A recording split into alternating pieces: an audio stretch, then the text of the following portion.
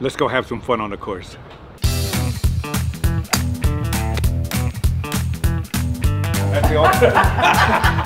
One of the biggest things about playing golf is golf is like a game of checkers and also a game of, of, of chess.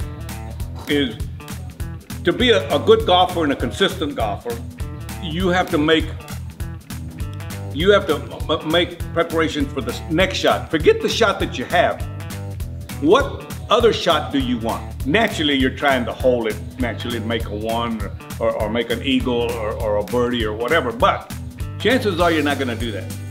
So if I miss the shot, where's gonna be my best chances of getting this ball up and down, in other words?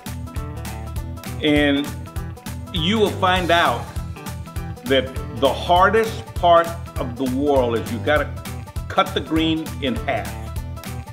And you keep the 180 towards you, 180 behind you.